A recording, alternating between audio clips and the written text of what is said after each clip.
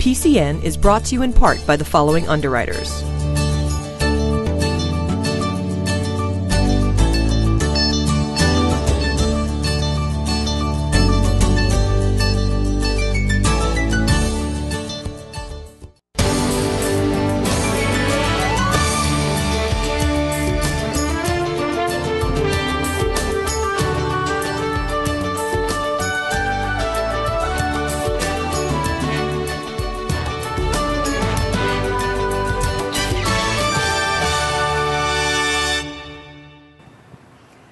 Joining us for another edition of PAC TV Community News. Tonight, we bring you to the YMCA groundbreaking at a new development in South Plymouth.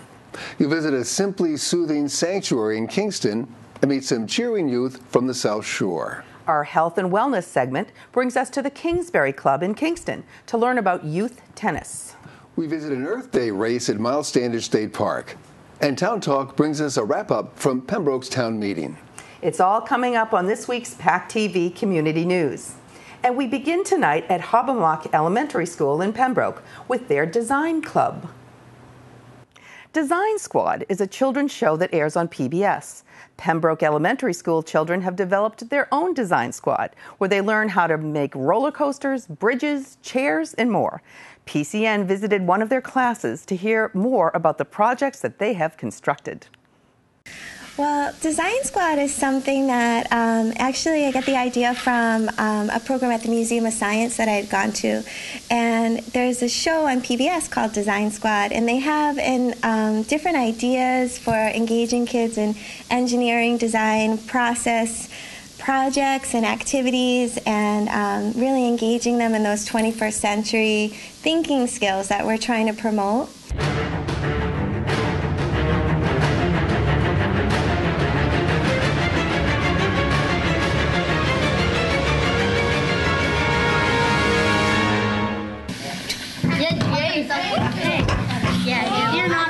You build different projects or like challenges, and then you test them or we compete or something like that.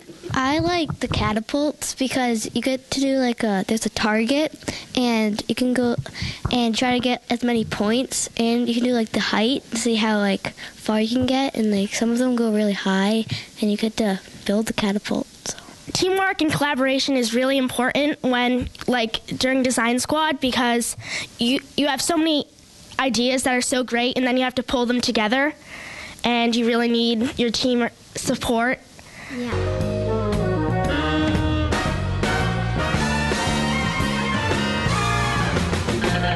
If you were to have an idea or something, you would, well, you need to work together to make that actually happen.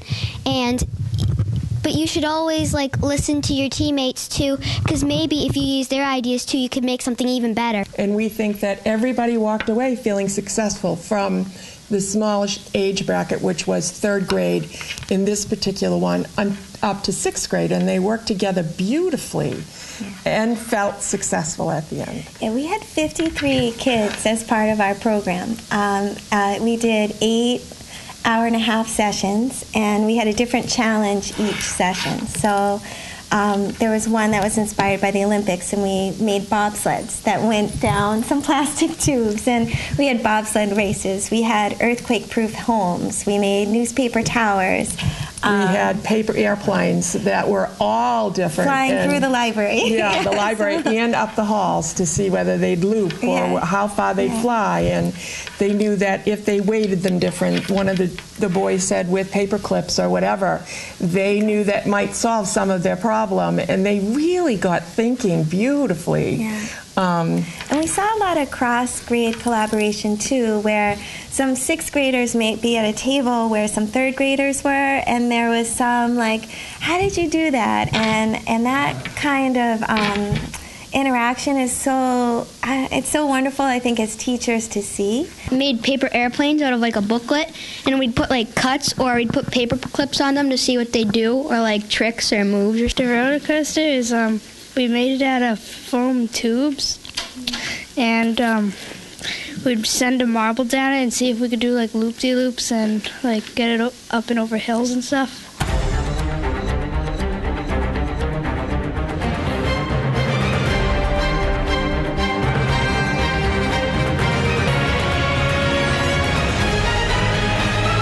My favorite was uh the roller coasters. You could like do loop de loops, uh, like connect the tracks, do like stuff. It this inspires teamwork. This inspires children to use their imagination and not look at something and say, I can't do this. It tells them, I can try. And with collaboration and help from their peers, it's not, it's not impossible to do, and they don't feel that way. Red Brook is a new community development in South Plymouth from the AD Makepeace Company. It'll have homes, stores, recreation, and a village green. This month, they broke ground on a new YMCA that will be a central focus in this community. PCN was there to hear from local and state officials on the project. Good morning, all, to this wonderful day. Who would have thought after so many years of planning that we would be here today to celebrate uh, the coming of a full facility YMCA in the great community of Plymouth? Uh, on behalf of uh, all the hard workers and our board of directors, thank you for uh, joining us for this momentous uh, morning groundbreaking. Encircling this location will be a series of neighborhoods in a wide variety of styles and price points. The neighborhoods will be connected by walking trails and public open space. Red Brook will be a haven in which to enjoy the natural environment around us. The YMCA will be at the very heart of the village, literally and figuratively. We see the Y concept of community and good health as representative of the Red Brook philosophy we have we will have very much to celebrate in the coming months, but it was important for us to begin with this very special partnership with the YMCA. Thank you very much to the community of Plymouth for welcoming uh, us, the Old Colony YMCA, into this community with the ability to build a uh, brand new facility. Um, this is really an exciting project for the whole town, but in particular for this part of town, which we know has been greatly underserved for recreational uh, activities for, for children and for families. And, and the wise uh, the wise model is a family model. It's not just for children. And uh, any of you people who do live down here, you're going to be thrilled when this place actually opens and when the second phase happens. So we're going to have a planned community with retail space, something that people in this area have, have needed for a long time. Uh, as well as recreational space and beautiful new homes and, uh, and nice subdivisions, walking past a very healthy uh, um, a very healthy place to live. But I am excited to see this happening here in the southern part of town. Uh, I reside in this area, and I've always felt that it was underserved. And to see a facility like this that makes sure um, that not just people who can afford it get a chance to enjoy the recreation, but people who can't afford it. These, this group has worked tirelessly to raise the resources necessary to make sure those kids that want, need that opportunity, need a place to go, need a place to, to have recreation, uh, can do it. And it's it's been a tireless effort. Uh, you take the kids who need a place to belong and who nour- and you nourish their spirits and help them thrive. Not only do you teach them to swim and do play sports, you also teach them to make good decisions and become confident leaders and good citizens. It is a well-known fact that YMCA makes the community better and stronger, and we're very appreciative that you chose this spot in South Plymouth to build your new facility. Today is um, a, a, very special day uh, for the uh, Plymouth School Department. It's special because um, this is an opportunity to enhance a partnership that we've had with the YMCA. Uh, we have uh, programs in all our elementary schools that really help parents to, to raise kids early morning, afternoon. Um, and one of the things that I remember uh, several years ago, friend Weiler called me, friends on the board, and uh, a, a, a, good friend, he asked, uh, we're doing a survey with the Y and we want to find out exactly what the need is in Plymouth for uh, enhancing Y services. And I said, you know what, I'll tell you, um, I think we need two Ys. I think we need one in South and one we need one in North because we need more and more opportunities for kids. Our kids need to be uh, part of something uh, our parents need opportunities to help them because our parents are very busy uh, and they need opportunity. And we, you know, at, at, that time I said we really need um, something like a full service Y. It's awesome to be here today to see that happening on this property. It's unbelievable. One, two, three. Oh, look at that, huh? Good job. It's not your first rodeo, eh? On Route 3A in Kingston, right in the main traffic flow, is an unexpected oasis of tranquility called Simply Soothing Sanctuary. It's a place of peace, healing, and inspiration. Founder Dee Davison, also known as Mother Earth, began Simply Soothing after coming to a life affirmation of her soul's purpose.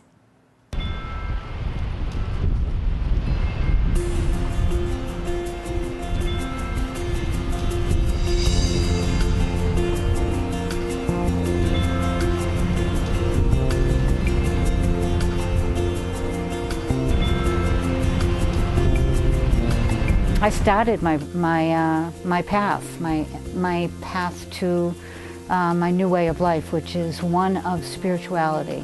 Uh, my belief is you heal from the inside out, but first you have to journey in. So the journey in is um, is a place where you want to feel safe. Um, you want to feel uh, there's no judgment on you.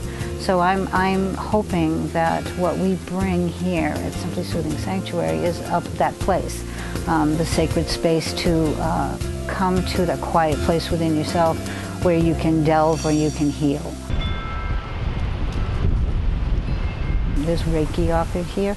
There is Shambhala, which is another form of energy work. All of it is um, derived with a purpose for you to be able to rest within yourself and with no fear.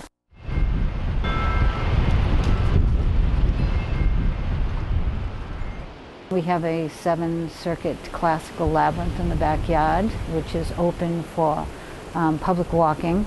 The labyrinth is viewed as a metaphor of um, a pilgrimage. So it's used for a quieting of the mind. When you get to the center, it's all about uh, meditating. So you sit there until you feel complete, whether you have an answer or not. Um, you take what you gain in the center back out with you.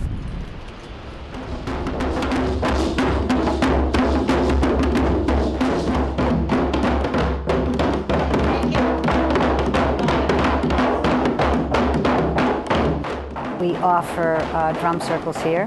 They're, um, you know, either free or by donation. It's awesome. Drumming is just a beautiful way, again, to help access the inside that you haven't been able to voice. And you don't have to voice it, you can let an instrument do it for you. I am an Earth Mother. Mother Earth is a nickname, and Mama Moon is also what I've been called. So, um, and I love those names so that, you know, I, I vibrate with them, I resonate with them. So, again, I'll say that Simply Soothing Sanctuary is all about coming to a place of um, your vibration and what you resonate with. And the more we gather and the more we um, allow ourselves to become the fullness that we are, um, the better that will be. Um, each ripple in a circle touches another circle. As I journey into my, um, I call them the winter of my life, you know, I'm 65, I'll be 66. Uh, I'm just coming to it. I'm loving it. I, you know, I've let go of the titles of mother and, um, you know, daughter and sister and all of that, and I'm coming into my fullness as a woman in in uh, in the later part of my years. I, I, I, grow with each of the people that I deal with. I grow with each of the women that are drawn to come here. I totally feel that, um, you know, when the pupil is ready, the teacher appears, and vice versa. So at times I am a pupil of the people that come here, and at times I am a teacher for the people that come here. You know, I feel what we need um, is in this world is more balanced energy, um, more positive vibration, more talk, more love, more nurturing, um, and through that, um, I feel we'll heal. Cheerleading is not just a fun extra at local sports events, it's a competitive and tough sport. Cheer Factor on the South Shore is a high performance training center for local cheer athletes. They work with local Pop Warner youth programs and train youth for national cheer competitions. They work to build self confidence, integrity, and honesty, as well as good sportsmanship in their athletes. PCN caught up with a couple of local girls to see what goes into training to be a competitive cheerleader. One, two, one, two, three, tight. Two, three, four, five. The, um, the competition that the girls made it to is called the Summit. And that's going to be held in Disney in May. And they've worked all year to make it to this prestigious event. So they've gone to about eight competitions, and they were lucky enough to be awarded a at-large bid to the cheerleading summit. Um, there'll probably be over 500 teams that will be there. Their team is a junior level one team, a large junior level one team. And in their division right now, I think there's about seven teams that they'll be competing against in Florida. We practice three days a week, and it's just we have to be work really hard, and we have to work together as a team. But because it's not like an individual sport, we always have to work as a team. We've worked really hard throughout the year to get to the summit, which is a big competition in Florida. And we've practiced a lot, three days a week, just to get to this comp and be able to perform and hopefully be able to bring home rings and jackets.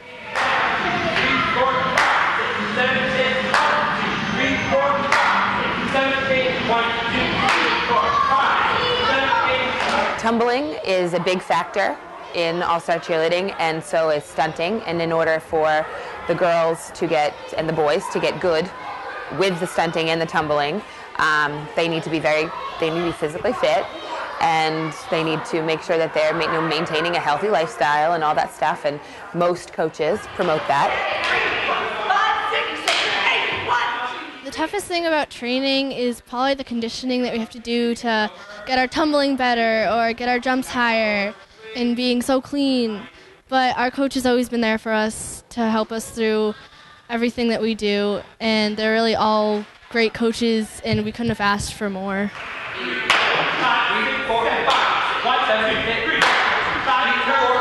They've worked very, very hard. They practice five and a half hours um, and then another hour for tumbling weekly. And they'll be adding in multiple practices the next couple of weeks um, for to prepare for the summit.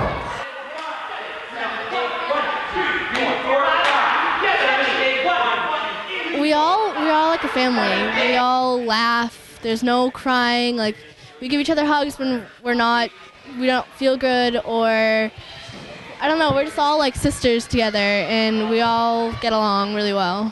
Altogether, there'll be 32 kids out on that floor competing in Florida, and it's going to be fun. The fourth annual Earth Day race came to Myles Standish State Forest Saturday, April 19th. PCN's own Brian Sullivan was there to meet up with the event organizer, Sunny Bean, and several race participants to get the full scoop on what turned out to be a beautiful morning for a race. We're running in this direction. Don't be shy, right on up to the starting line. You're going to go one mile around this loop, and then you're going to be on the paved bike path through the state forest for the rest of the run.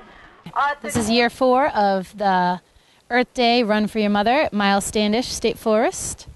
Well, I like the forest a lot because there's not traffic. I would run a lot of races, and I'd always be afraid, you know, of getting sideswiped by a car. And in the forest, what better place for an Earth Day race than in this beautiful Myles Standish State Forest? There are mile markers out there. There are red arrows and there are pink um, ribbons on all of the trees. That's how you're going to find your way through the course. There are two water stops. There's a water stop at mile one and another one just past mile three. Finish line obviously is right over there in the uh, where we just came from. So with that, runners set.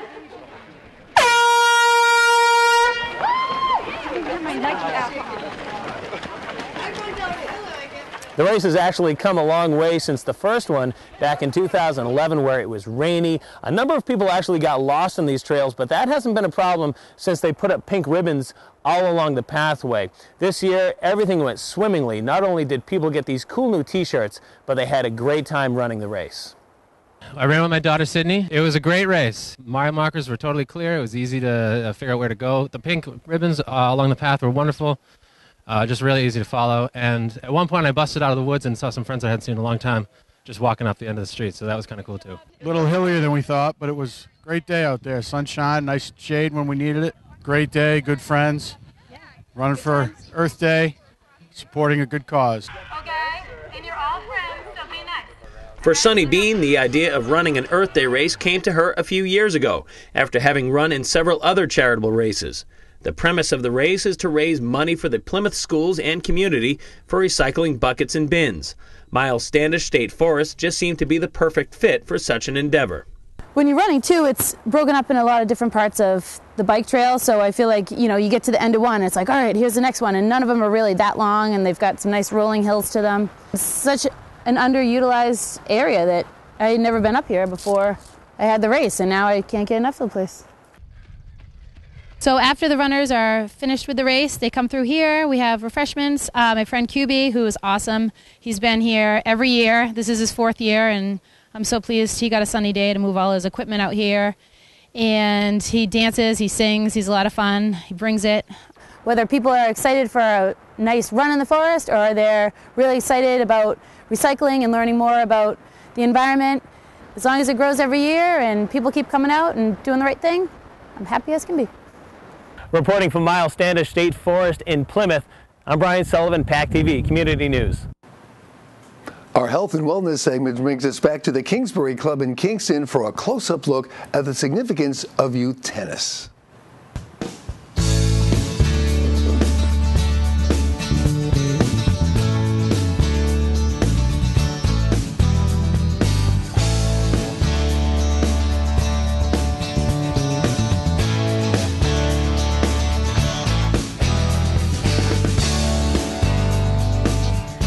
Tennis is a great program for children. Here at the Kingsbury Club, we like to promote it in terms of a lifetime sport. Families can enjoy it, kids can start young, they can play with their parents. Uh, it even goes to the point where we have family time on Sundays. It's a great way to spend time together. It's important when kids are learning a sport to use equipment that is appropriate to their size. The equipment here that you see is um, a net that is much lower, a court that is much shorter, it's only 36 feet. Uh, the balls we use are red balls. They bounce, they're only 25% pressure, so they bounce at the right height. The kids then can connect in their uh, strike zone. When they do that, they are more consistent, they develop rallying skills, and they can actually learn to play there's this new 10 and under teaching methodology and philosophy, which is great. It's a scaled down version of regular tennis, and it uses uh, tennis balls that they're able to control and succeed with. So when they succeed, it really breeds their interest and they get so much more enjoyment out of it, which is so great because uh, for little kids who don't succeed on a tennis court, they get bored pretty quickly. So it's great because then when they start succeeding, it leads into them having more and more activity out on the court. And so not only are they learning a sport, but they're getting out and they're, they're, they're using energy and they're being active, which is so important for these guys. When you learn the game of tennis, you're learning to develop skills, you're, you're developing your confidence, how you feel about yourself. You feel good about learning something new, being able to implement it. Um, you also have a nice social aspect. There are people to play with. You can play with people of any ages. Um, it doesn't have any boundaries that way. Kids can play with adults, seniors can play with juniors. It's a social aspect that's really makes it fun. So when these children succeed and you see the joy in them and the happiness, it's great, you know, how they run out on the court with their full energy and they're ready to go and that's that's really good. None of these children are, are dragging out here. They want to be here and that's because it is a learning environment, but it's a fun learning environment. And that's what's so important for these guys. That's what's going to keep them wanting to do this sport, which is truly a sport of a lifetime. Developmentally for children, it develops hand-eye coordination. All the skills they use relate to sending and receiving. So we use balls, we use rackets, we use cones. They're able to send the ball and receive it by catching it. When they develop these kind of skills, they can progress even further to using the racket. Once they can use the racket, they're developing rallying skills. When they can rally, they can play. Their goal is to be consistent, learn the rules so that they can actually play matches. When they can do this, it expands a whole opportunity for them to progress further and further in tennis.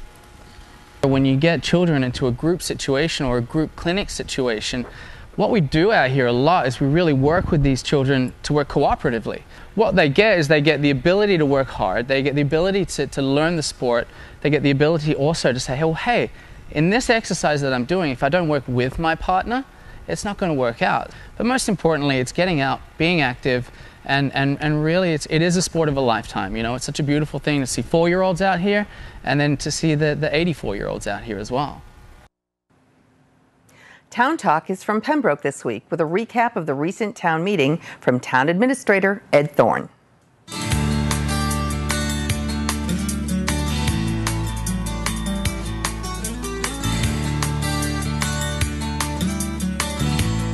Well, hi, folks. This is Ed Thorne, Town Administrator for the Town of Pembroke.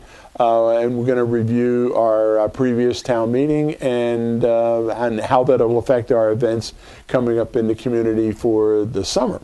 Um, one of the interesting uh, articles that was passed was uh, solar bylaws for uh, our capped landfill. Um, there were three articles that dealt with the leasing of the property, uh, power purchase agreements with any developer there, and any uh, payment in lieu of tax uh, arrangement that we uh, that we get. So we're looking forward to uh, working with the Energy Committee and with uh, people that would respond to our RFP.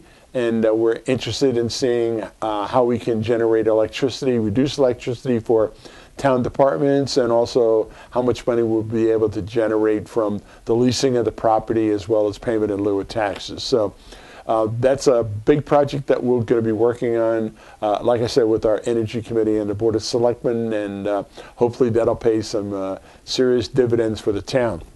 Another uh, article that was passed was the uh, creation, or actually the increasing the authority of the town administrator. Um, we were real pleased that uh, town meeting uh, voted uh, overwhelmingly to, to support that. And that will give our government study committee, which uh, is headed up by Selectman Dan Trabucco, uh, to work on uh, this summer and the fall um, as a, a kind of like a basis for them to look at the town government and, and, use the DOR report that was submitted to the selectmen just a couple of months ago. Uh, also, town meeting uh, voted uh, a budget for FY15. Uh, it's balanced, and uh, we're very confident that uh, all town departments, as well as the school department, are looking forward to operating um, FY15 um, um, somewhat a little bit more relaxed than last year when we up, began the year with a with a, a small deficit. So, uh, and we have, especially with the summer months coming up, we have some recreational projects that we're going to be working on. Uh, the uh, 300th anniversary committee uh, has some uh, leftover funds that we're going to be using to survey the Herring Run property, and we're hoping uh, with a $100,000 grant from Senator Murray's office and the legislature that you know we're going to be able to make improvements to the Herring Run Park there on on Barker Street and uh, we think the public's going to enjoy some of the additions that we're going to make uh, to the park. Uh, our Recreation Commission is also uh, setting aside funds to make some improvements to the Birch Street Park, as well as the Mattakeesett Street ball fields. We're going to improve the, the parking conditions out there at Mattakeesett Street, improve the handicap accessibility and, and parking out at Birch Street. So, um, you know, basically we're going to, uh, you know, open up uh, the, the projects that we've been sitting on for a while, and uh, we're looking forward to uh, having these projects be enjoyed by the by the Pembroke public. And uh, we think that the, the, this past town meeting uh, will allow us to spend some of those funds in a in a very judicious manner, and we think the public will enjoy some of the amenities that we'll provide. So, thank you very much. Thanks for watching this week's edition of PAC TV Community News. Replay times are listed on our website, pactv.org. Click the PCN tab to watch individual stories or an entire program. And see us on YouTube by searching for the PAC TV Community News channel. Like us on Facebook and follow us on Twitter to receive previews each week with links to all our stories. We love to hear feedback on our stories or ideas for new ones, so send your emails to kim at pactv.org. We'd also like to take this opportunity to thank the three interns that we have had working with us here at PAC TV for the last three months Michael, Sean, and Wen Yu. Please come out, folks, so we can thank you appropriately. They have been not only helpful, they have learned a lot. They've done editing, they've done filming, they've done uh, camera work, they've worked the control rooms. This is Sean, this is Michael, and this is Wen Yu. And we thank them very much for being part of our PAC TV Community News team. Thank you, Julie, and we'll see you next week on PAC TV Community News.